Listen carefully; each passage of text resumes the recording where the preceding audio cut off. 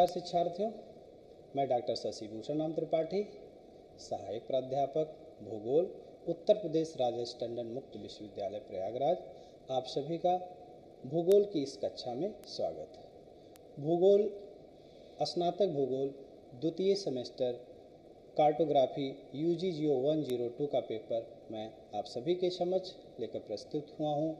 यह पेपर भूगोल के प्रायोगिक पेपर के रूप में जाना जाता है।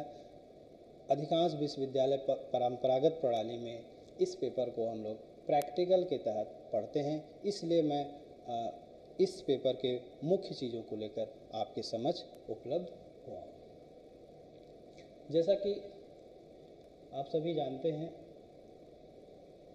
कि भूगोल भूतल पे पाए जाने वाले भू, भूतल के भूस्वरूपों, प्राकृतिक भूस्वरूपों, सांस्कृतिक भूस्वरूपों, इन सभी के मध्य जो जटिल अंतर संबंध पाया जाता है, इन अंतर संबंधों का अध्ययन भूगोल करता है। चूँकि हमारी पृथ्वी बहुत व्यापक है, धरातल बहुत व्यापक है, इसलिए इस व्यापक धरातल को मानचित्र की सहायता से हम लोग उसका अध्ययन करते हैं। क्योंकि एक भूगोलवेत्ता या वैज्ञानिक या शोधार्थी के लिए धरातल के हर क्षेत्र पे पहुँचना आसान काम नहीं होता, बहुत दुरूह कार्य होता है। और जब तक हमारे सामने धरातल के सभी भूदृश्य हमारे सामने उपस्थित ना हो, हम देख ना लें तो फिर उसके बारे में अध्ययन करना बहुत कठिन काम हो जाता है। तो यह आसान करता है हमारे लिए मानचित्र। आप सभी मानचित्र से परिचित होंगे। व्यवहारिक जीवन में हम सभी लोग प्रतिदिन मानचित्र का उपयोग करते हैं। इसलिए क्यों, इसलिए यह सारे हमारे काम को बहुत आसान कर देता है। तो मानचित्र क्या है? सबसे पहले हम लोग मानचित्र के बारे में समझ लेते हैं। मानचित्र संपूर्ण धरातल या उसके किसी भाग को मापनी की सहायता से विभिन्न प्रक्षेपों के द्वारा, प्रतीकों के माध्यम से व्यक्त किया जाता है। मानचित्र में जैसी धरातल की विशेषताएँ होती हैं, धरातल का जो मूल स्वरूप होता है, उन मूल स्वरूपों को हम विभिन्न विधियों के द्वारा मानचित्रण करते हैं और यह मानचित्रण का कार्य होता है मापनी के द्वारा। मित्रों, मापनी एक साधारण उदाहरण से हम समझते हैं कि आखिर में मापनी होता क्या है। हम सभी प्रतिदिन अपने मोबाइल फ़ोन का उपयोग करते हैं। हम जब किसी वस्तु का, किसी धरातल का या कहीं का भी जब हम एक फ़ोटो खींचते हैं तो वह हूबहू उस फ़ोटो में, जैसा वह धरातल, वह वस्तु जिसका भी हम फ़ोटो लेते हैं, वह हूबहू उस रूप में, उस फ़ोटो में अंकन, अंकित हो जाता है। उसमें कोई परिवर्तन नहीं होता। तो आप देखते हैं, एक विस्तृत भाग का, एक बड़े भाग का, हम लोग एक छोटे भाग में उस फ़ोटो को अंकित कर लेते हैं और वह फ़ोटो हूबहू होता है, फिर उसको हम लोग बड़ा छोटा करके इस्तेमाल कर लेते हैं। यही काम हमारी, यह काम हमारी मापनी करती है। तो क्यों ऐसा कर लेते हैं? ऐसा हम इसलिए कर लेते हैं क्योंकि जिसका भी हम फ़ोटो खींचते हैं, एक अनुपात में, वो चाहे छोटा हो जा रहा है, चाहे बड़ा हो जा रहा है, एक निश्चित अनुपात में छोटा या बड़ा हो जा रहा है, इस कारण से उसका मूल स्वरूप वैसे ही, वैसे रहता है, उसमें कोई परिवर्तन नहीं होता। यही काम, यह काम, यही काम मापनी के द्वारा होता है। इस मापनी का उपयोग करके हम लोग मानचित्र का कार्य करते हैं। तो सबसे पहले हम समझ लेते हैं कि आखिर में मापक होता क्या है। मापक मानचित्र में प्रदर्शित किन्हीं दो बिंदुओं के बीच की दूरी, जैसे आप भारत का मैप ले लीजिए, भारत के मैप पे कोई दो स्थान ले लीजिए, उन दो स्थानों के बीच के में जो मानचित्र पे दूरी है उसी दूरी को, जो मानचित्र पे दूरी है, वही दूरी वास्तविक धरातल पे, वास्तविक धरातल पे। तो इन्हीं दोनों के बीच का ये होता है अनुपात। तो सामान्य शब्दों में हम कह सकते हैं कि मानचित्र पे प्रदर्शित किन्हीं दो बिंदुओं के बीच की दूरी तथा धरातल पर धरातल पर वास्तविक रूप से उन्हीं दो बिंदुओं के बीच की दूरी के मध्य का अनुपात होता है मापनी। मापनी बराबर मानचित्र पे दो बिंदुओं के बीच की दूरी, बटे धरातल पर उन्हीं दो बिंदुओं के बीच की दूरी। तो इस प्रकार से विभिन्न विद्वानों ने मापनी को परिभाषित भी किया है, जिसमें मार्क हाउस महोदय ने कहा, यह उस संबंध को व्यक्त करती है जो मानचित्र पर किन्हीं दो बिंदुओं के बीच की दूरी तथा मानचित्र पर उन्हीं दो बिंदुओं के बीच होता है। रॉबिन्सन महोदय ने बताया है, वास्तविकता तथा प्रतिनिधित्व। वास्तविकता यानी वास्तविक धरातल और प्रतिनिधित्व यानी उस अनुपात के रूप में मानचित्र पे उसका प्रदर्शन। वास्तविकता तथा प्रतिनिधित्व के बीच पाए जाने वाले संबंध को मापनी कहते हैं। स्ट्रालर महोदय ने क्या कहा है कि मानचित्र की दूरी तथा मानचित्र द्वारा दर्शाई गई पृथ्वी पर वास्तविक दूरी के अनुपात को मापनी कहते हैं। तो ये अमूमन पूछा जाता है कि आखिर में मापनी है क्या? तो सरल शब्दों में आप समझिएगा कि मापनी बराबर मानचित्र पर किन्हीं दो बिंदुओं के बीच की दूरी, बटे धरातल पर उन्हीं दो बिंदुओं के बीच की दूरी। तो कोई एक स्थान आप ले लीजिए, जैसे हम देखते हैं, वास्तविक धरातल हमारा बहुत विस्तृत है। इसको एक छोटे से कागज़ पे दर्शाना आसान नहीं होता है और इस छोटे कागज़ पर इसका अंकन इसी मापनी के सहायता से ही संभव हो पाता है। जैसे आपको प्रयागराज से लखनऊ के बीच की दूरी दिखानी है तो जो वास्तविक दूरी है, उसके अनुपात में हम लोग क्या करते हैं? उस मानचित्र पे हम लोग दिखा देते हैं और यह काम करता है कौन सा? मापनी। अब आइए हम देखते हैं कि इस मापनी का प्रदर्शन कैसे किया जाता है, क्योंकि जब भी हम मानचित्र बनाते हैं तो उस मानचित्र के नीचे हमको देना होता है कि मेरी मापनी क्या है। अगर मानचित्र के नीचे मापनी नहीं है तो उसको मानचित्र नहीं माना जाता, उसको सिर्फ़ रेखा चित्र माना जाता है। जब तक उसके नीचे उस मापनी का अंकन नहीं किया जाता। तो इसके जो प्रदर्शन की विधियाँ मुख्य रूप से तीन विधि है, जिसमें एक है कथनात्मक विधि, ये सबसे आसान विधि है। जब भी हम कोई भी मापनी जिसका हम निर्धारण करके जब उसके द्वारा मानचित्र बनाते हैं तो उस पर हम लोग नीचे लिख देते हैं कथन के द्वारा कि एक सेंटीमीटर बराबर दस किलोमीटर या एक इंच बराबर पाँच मील। तो इस प्रकार से हम लोग क्या करते हैं, इसको लिख देते हैं, इसलिए इसको कथन मापनी कहते हैं। तो मानचित्र पे एकदम नीचे कथन के रूप में लिख दिया जाता है, आप सभी लोग इसका इस्तेमाल करते हैं। लेकिन अब समस्या क्या है, कठिनाई क्या है कठिनाई ये है कि जो भी हम मानचित्र बनाते हैं, जब उसका हम सामान्यीकरण विश्व स्तर पर करते हैं तो तो ये समस्या आती है। फिर उस मानचित्र का हम, उस मापक का दूसरे रूप में उपयोग नहीं कर पाते। और जैसे ही हम मानचित्र को बड़ा या छोटा कर देते हैं, उसका मूल स्वरूप बदल जाता है। तो इसलिए देखने में तो ये आसान है, लेकिन इसका सबसे बड़ा दोष है, इसको बड़ा या छोटा करने पर इसकी मापनी बदल जाती है। दूसरा है प्रदर्शक भिन्न, या इसी को निरूपक भिन्न विधि भी कहते हैं। इसको आर एफ़ मेथड मेथड कहते हैं रिप्रेजेंटेटिव फ्रैक्शन प्रदर्शक भिन्न। प्रदर्शक भिन्न क्या होता है? यह एक संख्यात्मक मान है या संख्यात्मक विधि है, जिसमें इस विधि में मानचित्र एवं धरातल पर मापी गई दूरियों को एक अनुपात के द्वारा प्रदर्शित किया जाता है। जैसे वहाँ हमने कथन के रूप में लिख दिया था अब यहाँ हम उसको क्या करते हैं कि मानचित्र एवं धरातल पे जो मापी गई दूरियाँ होती हैं, उसको अनुपात या भिन्न के रूप में हम लोग लिख देते हैं। जैसे मान लिया, हमने कथन मापनी में लिखा एक सेंटीमीटर बराबर एक किलोमीटर तो इसको जब हमें प्रदर्शक भिन्न में बदलना रहेगा तो हम इसको क्या करेंगे? एक अनुपाते एक लाख या एक बटे एक लाख। तो इस प्रकार से प्रदर्शक भिन्न बराबर होता है मानचित्र की इकाई दूरी। बटे उन्हीं इकाइयों में धरातल पर मापी गई दूरी। इसी के अनुपात को प्रदर्शक भिन्न कहते हैं।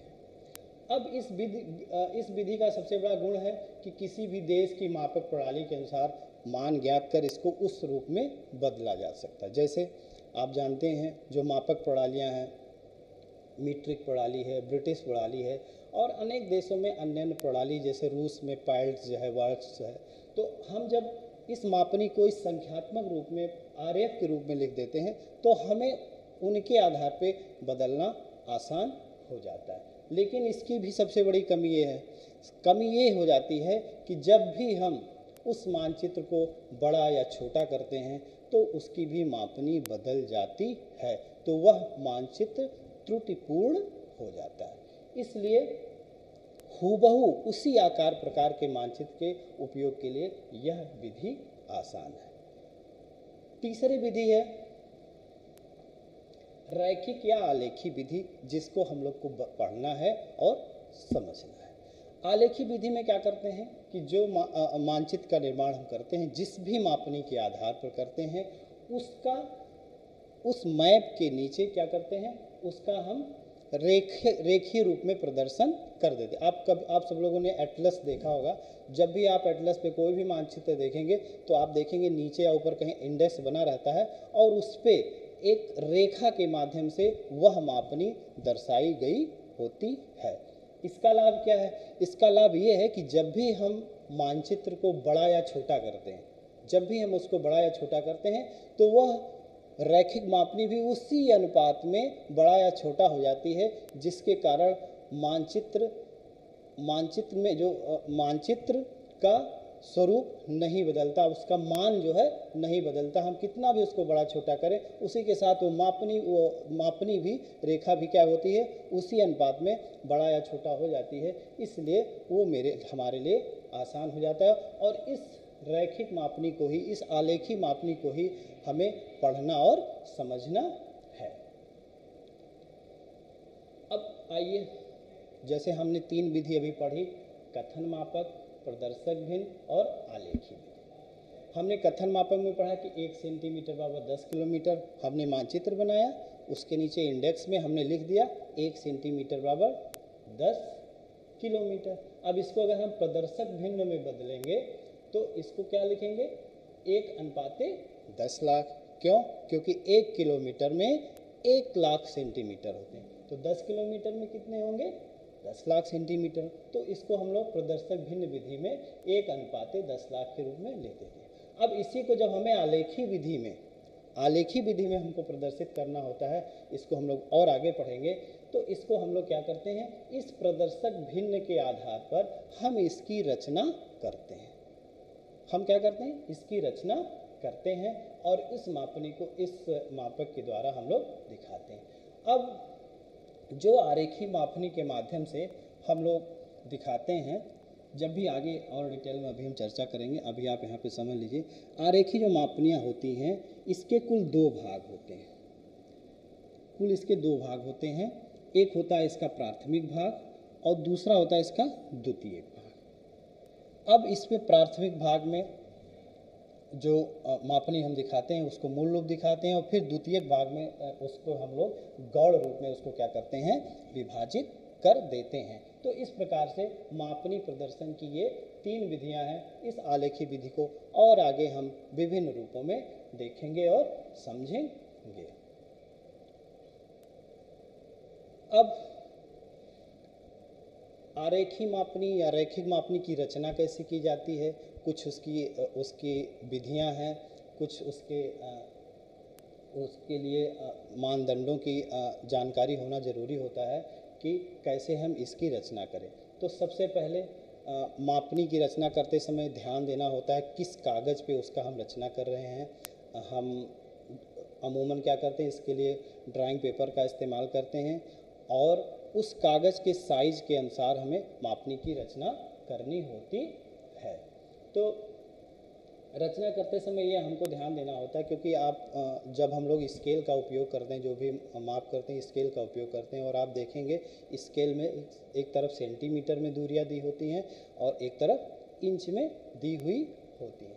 तो हम जब भी सेंटीमीटर में बनाते हैं तो अधिकतम जो रेखा की लंबाई का हम लोग चयन करते हैं वो 12 से 16 सेंटीमीटर के आसपास होना चाहिए। यह बहुत आदर्श माना जाता है। फिर उस रेखा की लंबाई को ज्ञात कर लेने के बाद उसको क्या करते हैं? उसको हम विभिन्न उप विभागों में विभाजित करते हैं और उस रेखा के जो बाईं ओर का प्रथम खाने को छोड़कर शून्य लिखा जाता है और इस शून्य के बाईं ओर के खाने को गौड़ विभागों में विभाजित कर दिया जाता है। और मापक पे प्रदर्शित, जो हम धरातलीय दूरी को प्रदर्शित करते हैं, हम उसको हमेशा पूर्णांक में रखते हैं। वो चाहे दो हो, चार हो, दशमलव में ना रहे तो यह काम हमारे लिए आसान हो जाता है। अब कैसे हम उस सरल रेखा का विभाजन करेंगे? उसकी दो तीन विधियाँ हैं।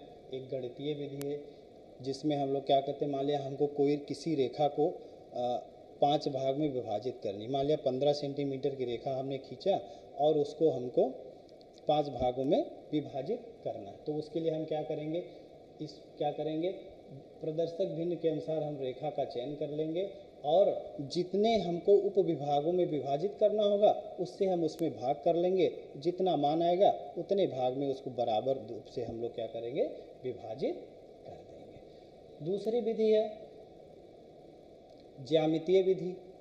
ज्यामितीय विधि में दो विधियाँ, एक न्यून कोण विधि, एक समकोण विधि।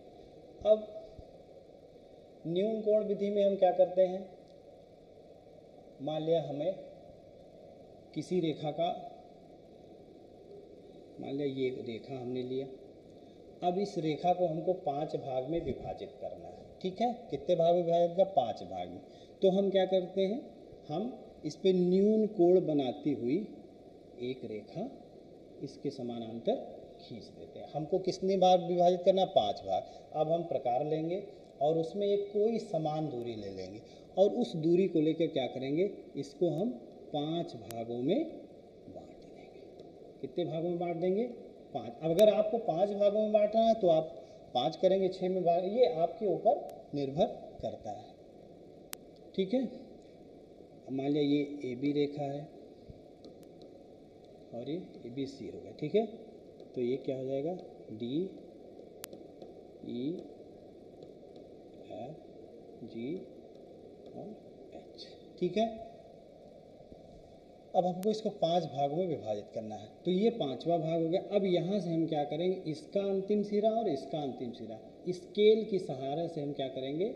इसको हम लोग मिला देंगे। ठीक है?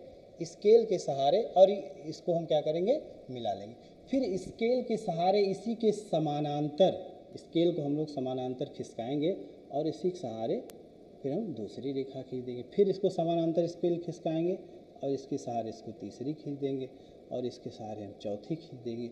इसके सहारे हम पाँचवीं। तो ये आपका पाँच भाग हो गया, ठीक है? और एक खाने को छोड़कर हम ज़ीरो यहाँ लिखेंगे। एक, दो, तीन और चार, ठीक है? तो इस प्रकार से हम इस न्यून कोण विधि का उपयोग करते हुए हम क्या कर सकते हैं? इस रेखा को बराबर भागों में विभाजित कर देते हैं। हमको पाँच भागों में बांटना है तो हम पाँच। अगर छः भागों में बांटना है तो हम और क्या करेंगे? इसको न्यून, इसको हम छः भागों में बांट, ये चाहे आप ऊपर करें, चाहे नीचे करें। और इसको बहुत हल्के सेट से आपको बनाना होगा, क्योंकि बाद में इसको फिर आपको मिटा देना होगा। अब ये जो आरेखी मापनी है, ये कुल मिला के इसको सामान्य रूपों में चार भागों में बांटा जाता है। एक साधारण मापक, एक साधारण मापक, दूसरा तुलनात्मक मापक, तीसरा कर्णोत या विकर्ण मापक और चौथा वर्णिक मापक। आलेखी मापने के ये मुख्य रूप से चार प्रकार होते हैं, जिसके द्वारा हम लोग मापनी का अंकन करते हैं। अब बारी बारी से हमें एक एक प्रकार को पढ़ना होता सबसे पहला है साधारण मापनी। क्या होती है साधारण मापनी? साधारण मापनी में अधिक से अधिक दो इकाइयों में दूरियाँ पढ़ी जाती हैं। जैसे हमारा स्केल होता है, जिसका हम लोग इस्तेमाल करते हैं।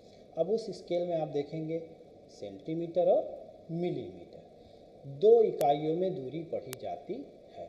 हूबहू साधारण, वो एक प्रकार से आप उसको साधारण मापक मान सकते हैं, उसका उदाहरण हो सकता है। तो इन साधारण मापनी में अधिक से अधिक दो इकाइयों में दूरियाँ सरल रेखा पर प्रदर्शित की जाती हैं, जैसे मान लें किलोमीटर, हेक्टोमीटर, मील या फरलांग फरलांग व गज गज व फुट आदि। तो इसको हम दो इकाइयों में, दो इकाइयों में इस मापनी के द्वारा हम दूरी पढ़ सकते हैं।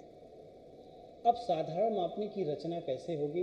इसको हम लोग एक उदाहरण से समझते हैं, एक प्रश्न से हम लोग समझते हैं कि कैसे इसकी रचना रचना होगी।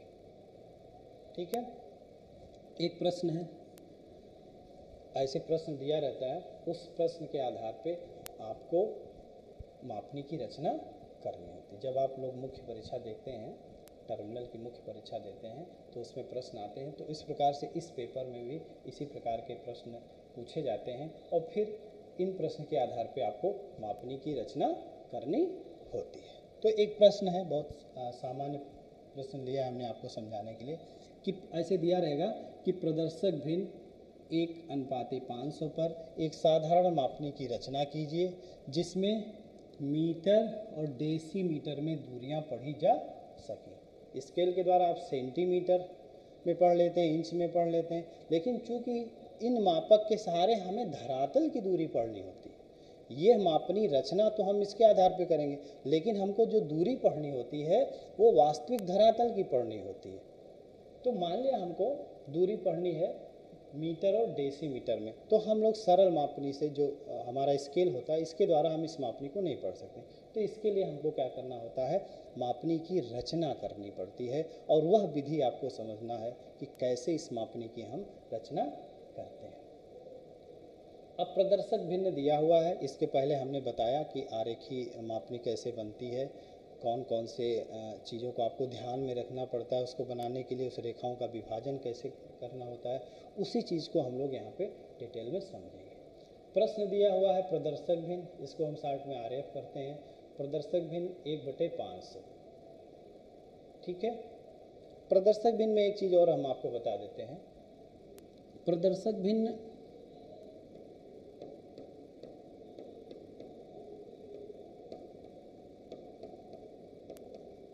हमेशा। प्रदर्शक भिन्न हमेशा। हमने भी बताया, मानचित्र की दूरी और बटे धरातल की वास्तविक दूरी। तो प्रदर्शक भिन्न हमेशा, इसका जो अंश होता है, वो हमेशा एक होता है। अंश इसका हमेशा एक होता है। और जो इसका अंश है, ये मानचित्र की दूरी को प्रदर्शित करता है। प्रदर्शक भिन्न का जो अंश होता है, ये मानचित्र की दूरी को प्रदर्शित करता है और जो इसका हर होता है, वो क्या करता है? आपके वास्तविक धरातल की दूरी प्रदर्शित करता है। अब अगर ये सेंटीमीटर में है तो ये भी सेंटीमीटर में होगा। ये इंच में है तो ये भी इंच में होगा। यानी दोनों समान इकाई में दोनों के मान होते हैं। वो चाहे आपके सेंटीमीटर में हो, चाहे इंच में है, दोनों बराबर होते हैं। और इसका जो अंश होता है वो हमेशा एक होता है, हमेशा एक होता है। और हर, चूँकि ये दोनों क्या है? अनुपात है। किसका? मानचित्र का और वास्तविक धरातल का। तो आप देख रहे हैं यहाँ पे प्रदर्शक भिन्न लिखा हुआ है, एक बटे पाँच सौ। यानी मानचित्र पर एक सेंटीमीटर दूरी प्रदर्शित करती है धरातल के कितने भाग को? पाँच सौ सेंटीमीटर को। तो मानचित्र पे पंद्रह सेंटीमीटर कैसे प्रदर्शित होगा, इसको हम लोग अर्थमेटिक में ये बहुत सामान्य चीज़ें हैं, हम लोग पढ़ते रहते हैं। तो मानचित्र पे पंद्रह सेंटीमीटर कैसे प्रदर्शित करता है? अब अगर एक सेंटीमीटर पाँच सौ कर रहा है तो पंद्रह सेंटीमीटर कैसे करेगा? पंद्रह से अगर पाँच सौ में आप गुड़ा कर देंगे तो कितना आ गया? पचहत्तर सौ सेंटीमीटर। अब ये आप पंद्रह भी मान सकते हैं, बारह भी मान सकते हैं, जैसा आपको बनाना हो, लेकिन आपको ध्यान में रखना है, जो भी मानेंगे, इससे गुड़ा करने पे जो भी मान आए वो हमेशा पूर्ण अंक में आए दसलों में न आए तो उससे हमारे लिए मापनी की रचना आसान हो जाएगी और वो अधिक शुद्ध होगी। ठीक है? तो इससे हमने गुणा किया, कितना आएगा पचहत्तर सौ सेंटीमीटर। अब इसको हम मीटर में बदल सकते हैं। क्योंकि आप सब जानते हैं कि एक मीटर में सौ सेंटीमीटर होते हैं तो इसको भाग दे देंगे तो क्या आ जाएगा? पचहत्तर मीटर। यानी जो पंद्रह सेंटीमीटर की रेखा है पंद्रह सेंटीमीटर की रेखा है। यह कितनी दूरी प्रदर्शित करेगी? पचहत्तर। किसके आधार पे? इस प्रदर्शक भिन्न के आधार पे। अब इसके आधार पे आपको क्या करना है? इस साधारण मापनी की रचना करनी है।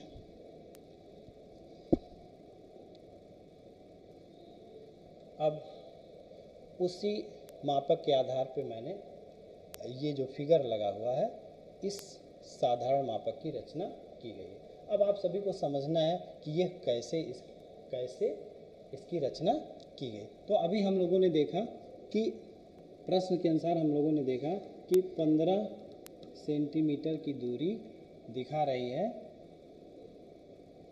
पचहत्तर मीटर। कितने मीटर दिखा रही? पचहत्तर मीटर। अब इसी के आधार पे हमको इसकी रचना करनी। अब हम क्या करेंगे? अपने स्केल लेंगे, उसमें पंद्रह सेंटीमीटर की एक रेखा हम क्या करेंगे? खींच लेंगे। कितने सेंटीमीटर की? पंद्रह। स्केल को रखेंगे और पंद्रह सेंटीमीटर की एक रेखा खींच लेते हैं। अब पंद्रह सेंटीमीटर की रेखा कितने मीटर को दिखा रही है? पचहत्तर मीटर को। तो ये पूरी रेखा कितना दिखाएगी? Seventy five seventy five metre ठीक है? कितना दिखाएगी? दोबारा इसको देखते हैं। पंद्रह सेंटीमीटर की रेखा खींचते हैं तो ये दिखाएगी कुल मिला के पचहत्तर, सेवेंटी फाइव मीटर।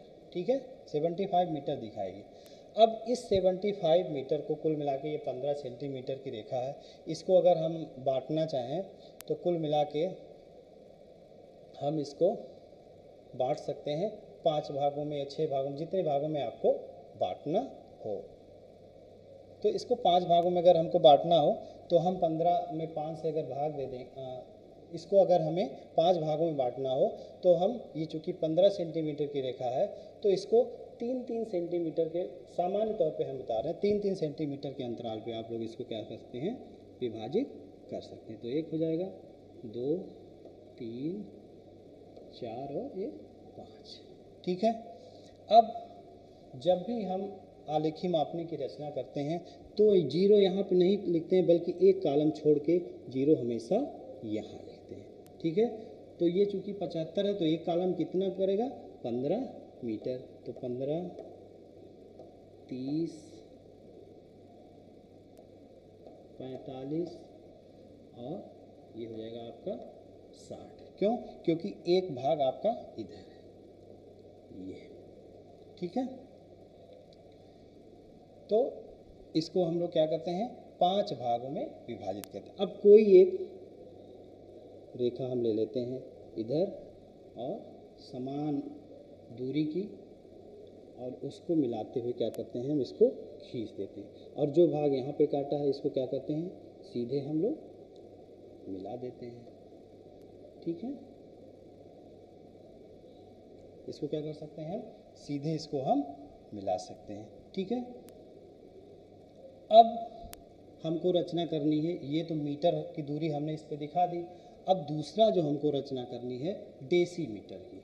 क्योंकि हमें जो दूरी उस पर पढ़नी है, मीटर की पढ़नी है और डेसी मीटर की दूरी पढ़नी है, प्रश्न के आधार पे। तो आप सभी जानते हैं कि एक मीटर में कितने डेसी मीटर होते हैं? दस डेसी मीटर होते हैं। तो इसको हम क्या करते हैं? इस भाग को हम लोग बराबर पाँच भागों में विभाजित कर लेते हैं, ठीक है?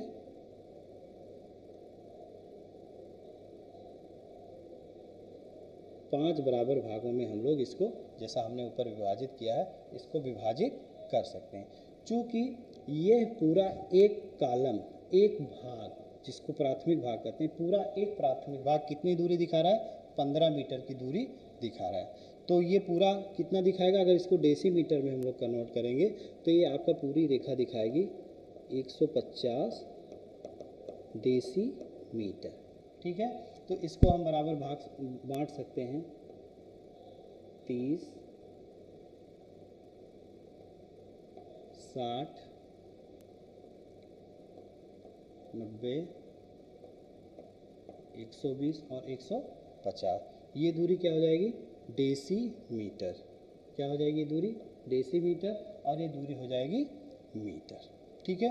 तो इस आधार पे हम इस प्रदर्शक भिन्न के आधार पे साधारण मापनी की रचना करते हैं, और जिसके द्वारा हम लोग मीटर और डेसी मीटर में दूरी पढ़ सकते हैं।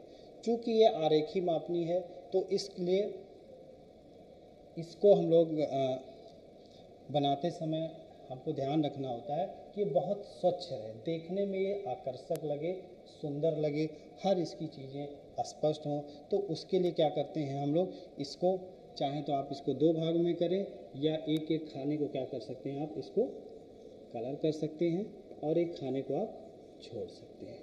ठीक है? इस प्रकार से। ठीक है? यहाँ पे इसको इस प्रकार से दिया तो अलग अलग रूप में आप इसको बना सकते हैं। तो ये हो गया आपका साधारण।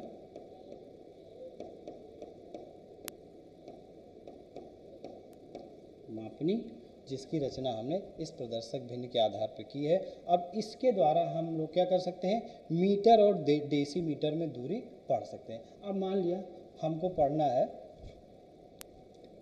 तीस मीटर तीस मीटर और 120 डेसीमीटर की दूरी हमको पढ़नी है। तो हम क्या कर सकते हैं? यहाँ से यहाँ तक 30 मीटर है और यहाँ से यहाँ तक 20 डेसीमीटर है। तो यहाँ से यहाँ तक की जो दूरी होगी, वो क्या होगी? वो क्या होगी? 30 मीटर और 120 डेसीमीटर। तो इस प्रकार से हम इसकी सहायता से मीटर और डेसीमीटर में दूरी पढ़ सकते तो चूँकि ये बहुत सामान्य होता है, इसको बताना बहुत आसान होता है और बहुतायत रूप में इसका इस्तेमाल भी किया जाता है। अब दूसरा है तुलनात्मक मापनी। हम लोगों ने देखा कि साधारण मापनी में हम दो दो मापों को पढ़ रहे हैं। लेकिन तुलनात्मक मापनी, वह रेखीय मापनी है जिसमें एक से अधिक माप प्रणालियों में दूरियाँ प्रदर्शित की जाती हैं और विभिन्न माप प्रणालियों का आपस में तुलना भी किया जाता है। इस मापक का उद्देश्य विभिन्न मापों के मात्र जैसे मीटर, गज मीटर गज, मील, किलोमीटर आदि में तुलनात्मक दूरियाँ ज्ञात करना और तुलनात्मक मापी दो या दो से अधिक सरल मापनियों का एक संयोग होती है। इसको अलग अलग मापों में प्रदर्शित करने वाली दूरियों एक ही प्रदर्शक भिन्न से बनाई जाती है। ठीक है? तो तुलनात्मक मापनी में हम एक से अधिक, एक ही प्रदर्शक भिन्न पर एक से अधिक मापनियों की रचना करते हैं और उनका आपस में हम लोग तुलना कर लेते हैं। आइए, इसको भी हम लोग एक प्रश्न के माध्यम से देखें। कि कैसे तुलनात्मक मापनी की रचना होती है, क्योंकि आपको जो सीखना है, यह विधि सीखनी है कि कैसे इसकी रचना की जाती है। यहाँ भी हमने एक प्रश्न लिया है, प्रदर्शक भिन्न, एक अनुपाते छत्तीस पर, एक तुलनात्मक मापनी की रचना कीजिए, जिस पर गज, फिट तथा मीटर और डेसीमीटर में दूरियाँ पढ़ी जा सकें। तो आपको तुलनात्मक मापनी की रचना करनी है, जिस पे आप देखिए, एक गज और फिट, इस पे गज और फीट और मीटर और डेसीमीटर। प्रदर्शक भी एक ही है, लेकिन मापक प्रणालियाँ भिन्न भिन्न गज और फीट और मीटर और डेसीमीटर। ठीक है? इसको कैसे बनाते हैं? अब इसको बनाने के लिए हम क्या करते हैं? जैसे सबसे पहले मान लिया हमको बनाना है गज और फिट। गज और फिट, इससे रचना के लिए सबसे पहला काम क्या करते हैं हम? प्रदर्शक भिन्न को लेते हैं। प्रदर्शक भिन्न पे जैसे दिया हुआ है, एक अनुपाते छत्तीस। ठीक है? एक चीज़ और यहाँ आपको ध्यान देना होता है। जब भी आलेखी मापनी की रचना करते हैं तो अगर दूरी हमको दिखानी है गज, मील, फरलांग, ठीक है? इसमें अगर हमें दूरी दिखानी है तो इसको बनाते समय हम लोग हमेशा क्या करेंगे? इंच का इस्तेमाल करेंगे। और जब आपको किलोमीटर हेक्टोमीटर डेकामीटर ठीक है? इन सब की रचना करनी है तो उस समय हम लोग क्या करते हैं? सेंटीमीटर का उपयोग करते हैं। तो अब सबसे पहले हमें गज और फिट की दूरी पढ़ने के लिए मापनी की रचना करनी। इसकी रचना एकदम जैसे सरल मापनी होती, वैसे ही होती। बस थोड़ा बहुत अंतर है, इसको हम लोग आगे समझेंगे। गज और फिट मापने के लिए क्या करेंगे? प्रदर्शक भी हमने ले लिया। तो अब प्रदर्शक भी अगर हम इसको मान लिया, एक अनुपात छत्तीस है, अब एक इंच की दूरी, मानचित्र पर एक इंच की दूरी धरातल पर छत्तीस इंच की दूरी को दर्शा रहा है, ठीक है? तो चूँकि एक गज में छत्तीस इंच होते हैं, अब मापनी रचना करने के पहले एक चीज़ और आपको ध्यान रखना पड़ेगा। आपको इन सभी माप प्रणालियों की जानकारी भी होनी चाहिए कि एक किलोमीटर में कितने मीटर होते हैं कितने सेंटीमीटर होते हैं, कितने हेक्टोमीटर होते हैं, कितने डेकामीटर होते हैं, या एक मील में कितने फरलांग होते हैं, ठीक है, कितने गज होते हैं तो ये सारी चीज़ें भी आपको जाननी ज़रूरी होती है। अब चूँकि एक इंच बराबर, एक इंच दूरी, मानचित्र के एक इंच की दूरी दिखा रही है, धरातल के 36 इंच की दूरी तो इसको हमें चूँकि यहाँ गज और फिट में दिखाना है तो हमको क्या करना है इसको, इसके मान को हमें गज और फिट में बदलना होगा। ठीक है? तो चूँकि एक गज बराबर छत्तीस होता है, इसलिए इस हिसाब से एक इंच की दूरी क्या दिखाएगी? एक गज को। तो पाँच इंच की दूरी कितनी दिखाएगी? पाँच गज को। छः इंच की दूरी कितनी दिखाएगी? छः गज को। ठीक है? ये आपके ऊपर है कि आप पाँच लेते हैं या आप छः लेते हैं। आप इसके लिए स्वतंत्र हैं। ठीक है? तो सबसे पहले हम लोग पढ़ते हैं कि गज और फिट की कैसे रचना होती है फिर हम दूसरा आपको सबसे पहले हम लोग क्या करते हैं गज और फिट मापने की रचना करते हैं जिसका रचना हमने ऊपर किया हुआ है। तो क्या करते हैं हम एक पाँच इंच की रेखा खींचने की स्केल को लेंगे और उस स्केल के सारे उसको स्केल को रख के क्या करेंगे पाँच इंच की रेखा हम खींचेंगे। ठीक है? कितने इंच की? पाँच इंच की। ठीक है?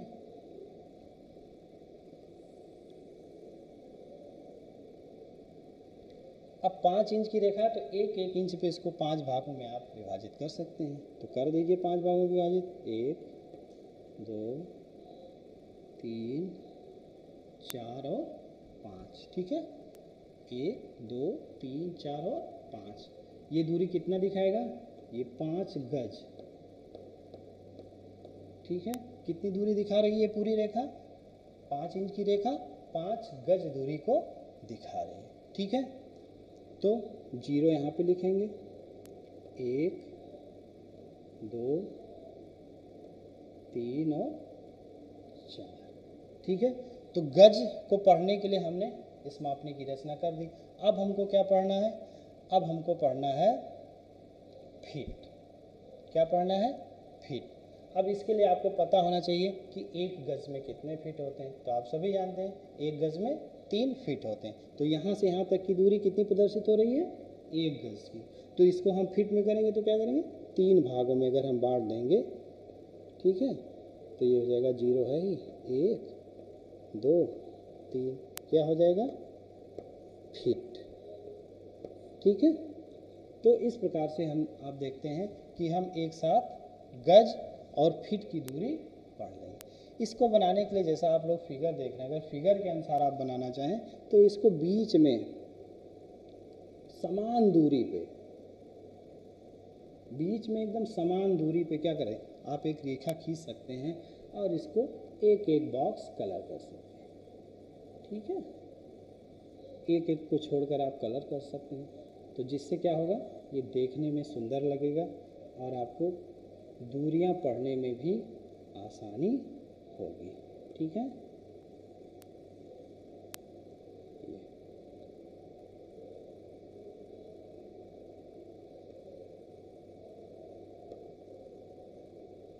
ठीक है? तो दूरियाँ पढ़ने में भी आसानी होगी। जिस मान को जैसे हमने नीचे लिखा है, इसको आप लोग ऊपर भी लिख सकते हैं। ठीक है? तो ये हो गया गज और फीट, ठीक है? तो इसके सहारे हम गज और फीट की दूरी पढ़ सकते हैं। अब हमें जो दूसरा पढ़ना है, वो पढ़ना है हमें मीटर और डेसीमीटर। क्या पढ़ना है? मीटर और डेसीमीटर।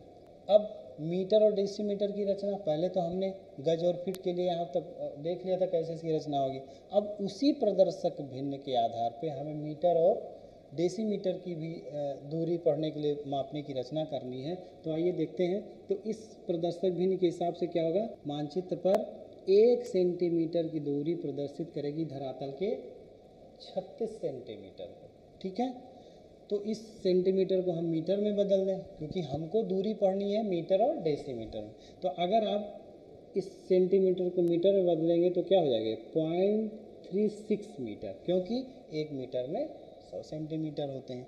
अब एक सेंटीमीटर की दूरी प्रदर्शित करेगी पॉइंट थ्री सिक्स मीटर को तो पंद्रह सेंटीमीटर कितने प्रदर्शित करेगी? आप अगर इसमें गुणा कर लेंगे तो ये आ जाएगा फाइव पॉइंट फोर मीटर। ठीक है? मानचित्र पे पंद्रह सेंटीमीटर की दूरी, धरातल पे पाँच दशमलव चार मीटर की दूरी को प्रदर्शित करेगी। अब हमने शुरुआत में, आप ध्यान दीजिए, हमने बताया था कि जब भी हम मापनी की रचना करेंगे तो जो धरातल की भी दूरी लेंगे, वो हमेशा पूर्णांक में लेंगे। वो हमारे लिए आसान हो। लेकिन यहाँ पे संख्या पूर्ण तो है नहीं। पाँच दशमलव चार मीटर है। तो हम इसके निकटतम मान को ले लेते हैं। ठीक है?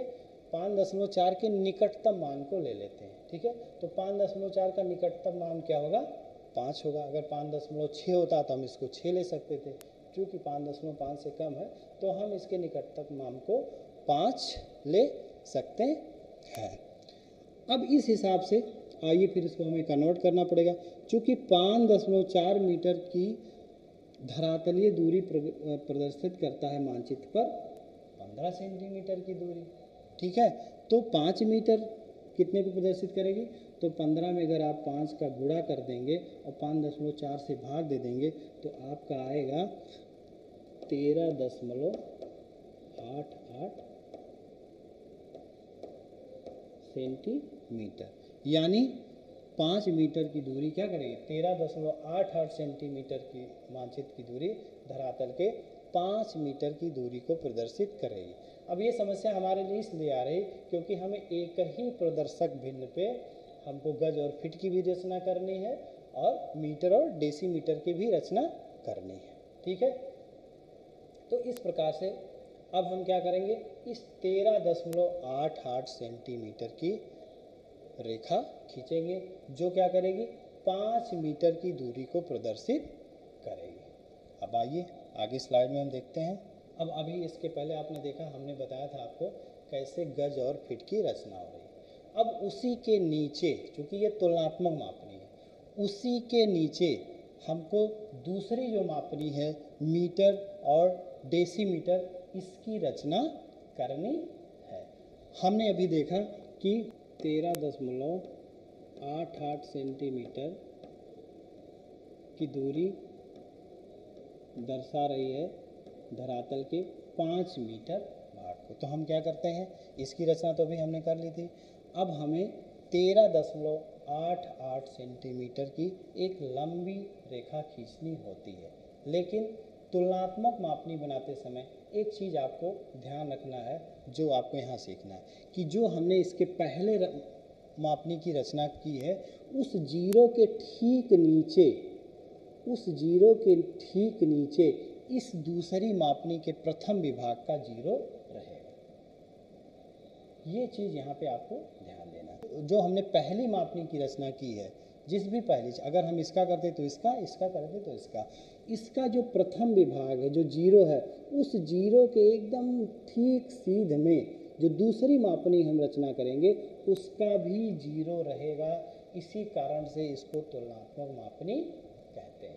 अगर ये ज़ीरो के नीचे ज़ीरो नहीं रहेगा तो ये स्वतंत्र रूप से भी साधारण मापक हो जाएगा, ये भी साधारण मापक हो जाएगा। इसलिए हमको इस ज़ीरो के ठीक नीचे अगला ज़ीरो रखना होता है। तभी ये आपकी तुलनात्मक मापनी होगी। तो इस प्रकार से हम इस रेखा को खींचते हैं, इस प्रकार से हम इसका विभाजन करते हैं। यह आपकी दक्षता पे निर्भर करता है। जब आप इसका बार बार प्रैक्टिस करेंगे घर पे, तब आप इसको अच्छे से कर ले जाएँगे। तो इसके ठीक नीचे, ठीक है? तो हम क्या करते हैं? तेरह दशमलव आठ आठ सेंटीमीटर की रेखा खींचेंगे, ठीक है? जो क्या करेगी? पाँच मीटर की दूरी को दिखाएगी। कितने मीटर की दूरी? पाँच मीटर। अब इसको हम क्या करेंगे?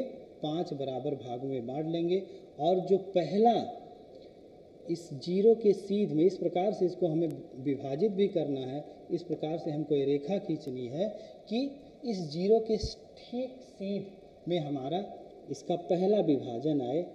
ठीक है? तो एक, दो, तीन चार और ये पाँच। ठीक है? ये आपका हो जाएगा ज़ीरो, ये आपका हो जाएगा एक, ये आपका हो जाएगा दो, ये हो जाएगा तीन, ये हो जाएगा चार, क्या? मीटर। ठीक है? जैसा कि आप इस चित्र में देख पा रहे हैं। ठीक है? और फिर अब हमें क्या करनी है? ये तो हमने मीटर की रचना कर दी। अब हमको दूसरी जो दूरी पढ़नी हो डेसी मीटर की तो इसका जो उप विभाग होगा, उस उप विभाग को हमें क्या करना, चूँकि एक मीटर में दस डेसीमीटर हैं तो इस खाने को हमको क्या करना होगा, दस बराबर भागों में बांटना होगा। पहले इसको पूरी रचना कर लेते हैं।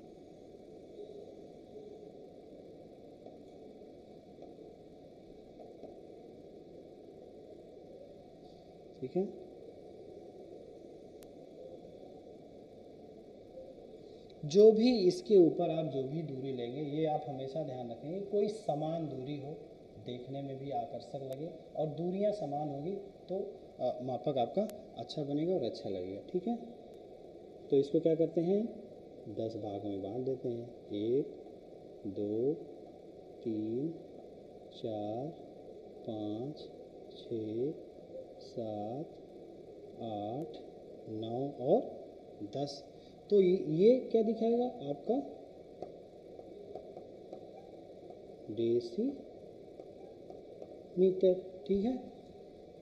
अब इसको आप, जैसे ज़ीरो हो गया, एक, दो, तीन, चार, पाँच, छ, सात, आठ, और ये हो जाएगा आपका दस डेसी मीटर। इसको इसलिए हमने एक एक अंतराल पे लिखा है, क्योंकि देखने में अच्छा लगे, क्योंकि अगर ज़्यादा हम मान को लिख देंगे तो वो बहुत घना भी हो जाएगा और देखने में आपका अच्छा नहीं लगेगा।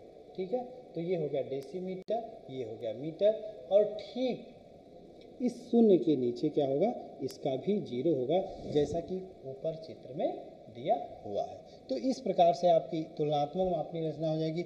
आप देख रहे हैं कि इस तुलनात्मक मापनी में चूँकि सबका आर एक ही है आर यानी मानचित्र की दूरी और धरातल की वास्तविक दूरी का अनुपात। इन इन दोनों का एक ही है, इसलिए आप एक साथ फीट और गज और डेसीमीटर और मीटर में भी दूरी पढ़ सकते हैं। इन दोनों की तुलना भी कर सकते हैं। ठीक है? तो इस प्रकार से इन मापनियों की सहायता से हम क्या करते हैं? मानचित्र पे, इस आरेखीय वृत्त के द्वारा मानचित्र पे इसका अंकन करते हैं। अगला, इसके आगे विकर्ण मापने की चर्चा हम अगले लेक्चर में करेंगे। बहुत बहुत धन्यवाद।